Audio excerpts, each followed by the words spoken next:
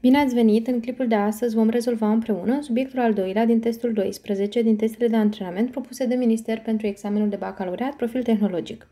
La exercițiul 1 avem o matrice A, trebuie să arătăm că determinantul său este 1, apoi să demonstrăm o egalitate și la ce să aflăm x, y, z pentru care are, are loc relația.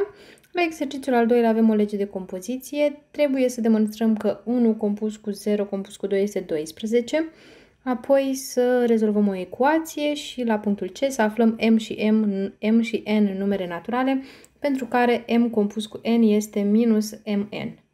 Și acum să începem cu exercițiul întâi, să scriem faptul că a este 1, 0, 2, minus 2, 1, punctul A, determinantul lui A este 1. Haideți să vedem, determinant din A înseamnă 1, 0, minus 2, 1. Înmulțim mai întâi elementele de pe diagonala principală și avem 1 ori 1, adică 1, minus, mergem pe diagonala secundară și avem 0 ori minus 2, care e 0. Și atunci obținem 1, de unde rezultă că, într-adevăr, determinantul lui A este 1. Punctul B, 2A minus A ori A, să arătăm că este I2. Haideți pentru început să vedem cine este A ori A. avem 1, 0, minus 2, 1, înmulțit cu 1, 0, minus 2, 1. Să facem înmulțirea, întotdeauna înmulțim liniile din prima matrice cu coloanele din a doua. Și vom avea 1 ori 1 e 1, plus 0 ori minus 2, care rămâne 0, și atunci avem 1 plus 0, adică 1. Mai departe, 1 ori 0 e 0, 1 ori 0 e 0, minus 2 ori 1 e minus 2, 1 ori minus 2 e minus 2 și atunci avem minus 4, iar în final, minus 2 ori 0 e 0, 1 ori 1 e 1.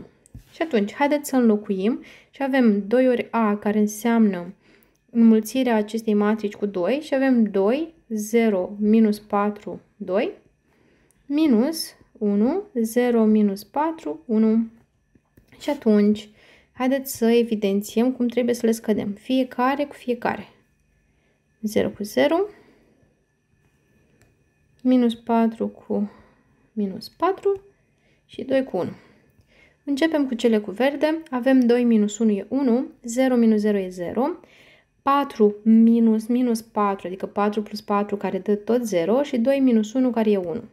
Și atunci rezultă că într-adevăr 2a minus a ori a este i2. Punctul C. Determinați numerele reale x, y, z pentru care a ori x minus 2, y, z plus 1 și 1 minus i2 este o2. Haideți să vedem mai întâi înmulțirea dintre A și matricea dată, să vedem cât este. Și avem 1, 0, minus 2, 1, înmulțit cu x minus 2, y, z plus 1 și 1. În clipurile trecute v-am prezentat o metodă prin care puteți să înmulțiți mai ușor două matrici. Dacă nu le-ați văzut, o să vă arăt acum din nou.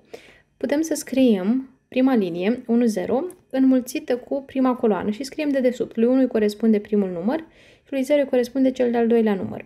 Și le înmulțim. 1 ori x minus 2, x minus 2, 0 ori z plus 1 e 0 și atunci, adunându-le, obținem x minus 2. Ștergem acum coloana și schimbăm cu a doua coloană, adică y și 1. Și avem 1 ori y e y și 0 ori 1 e 0, atunci rămânem doar cu y. Schimbăm acum și luăm a doua linie. Aici avem pe z plus 1. Făcând înmulțirea, avem minus 2 ori x e minus 2x, apoi minus 2 ori minus 2 e plus 4, 1 ori z e z și 1 ori 1 e 1. Și atunci observăm că rămânem cu minus 2x plus z, iar 4 plus 1 e 5. Mergem în final la ultima coloană, puteam să păstrez prima linie, am șters-o din greșeală. Avem minus 2y plus 1.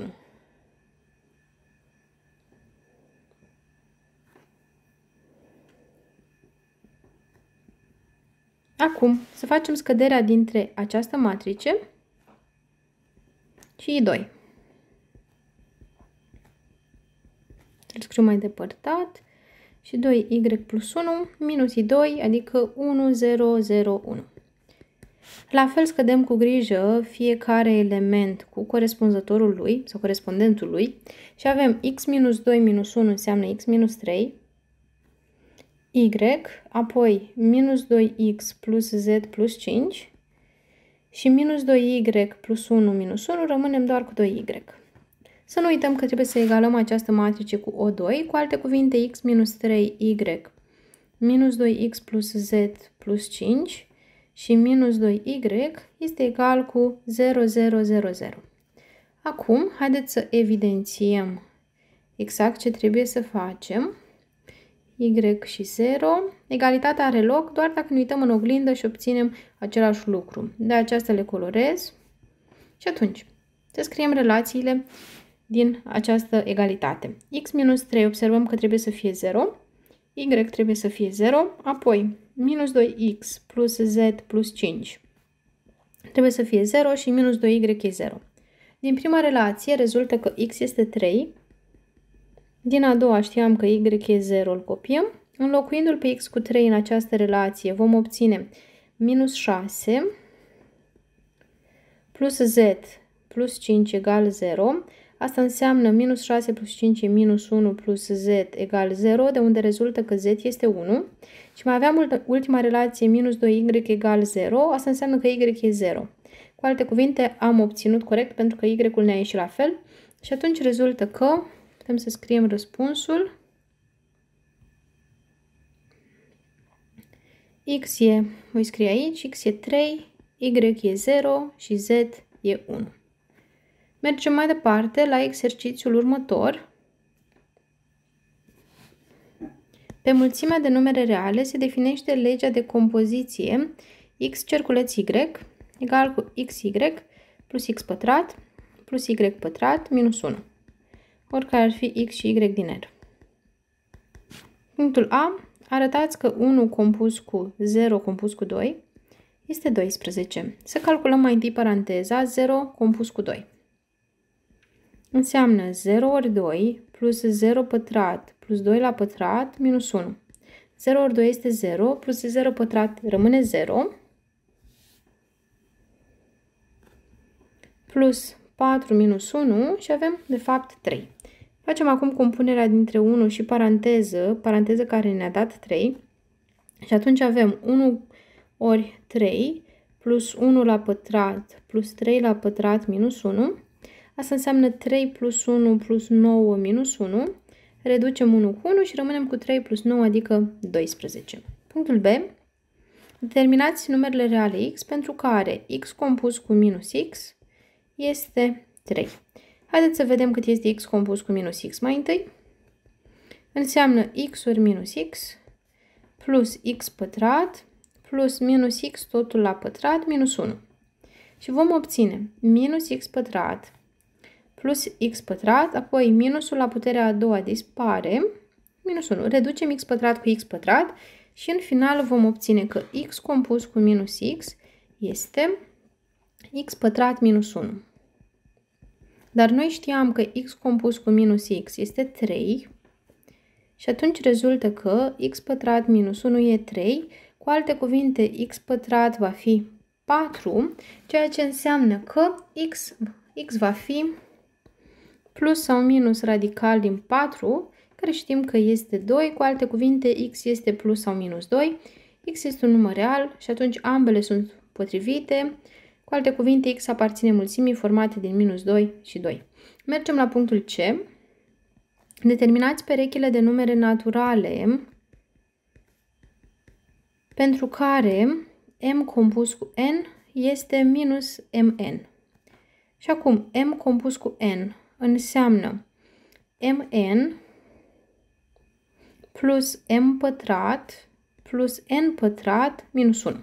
Egalându-le, ne rezultă că mn plus m pătrat plus n pătrat minus 1 este minus mn. Îl mutăm pe mn în partea stângă cu operația de adunare și atunci obținem 2mn plus m pătrat plus n pătrat minus 1 egal cu 0. Observăm că putem să formăm un pătrat perfect folosindu-ne de primii doi termeni. Asta înseamnă că vom obține m plus n, totul la pătrat, minus 1 este 0.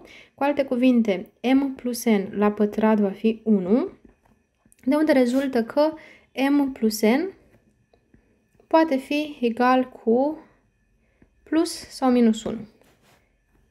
Și atunci, haideți să vedem ce înseamnă acest lucru. Dacă luăm primul caz, m plus n este 1, dar noi știm că m și n sunt numere naturale.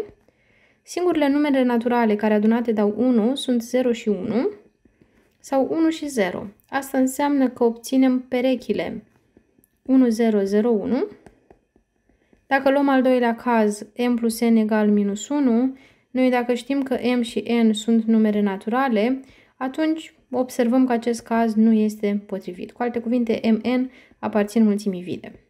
Și atunci, din toate astea, ne rezultă că perechile de forma MN iau valorile 1, 0 și 0, 1.